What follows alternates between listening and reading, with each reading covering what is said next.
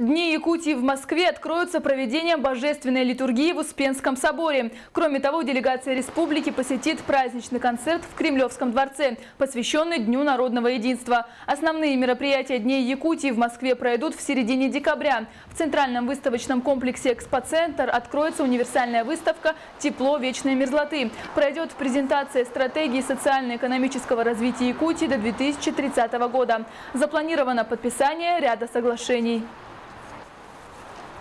Но самое главное событие, которое знает вся страна, это будет, конечно, литургия в честь 385-летия вхождения Якутии в состав российского государства, 220-летия святителю Иннокентию в Успенском соборе Кремля.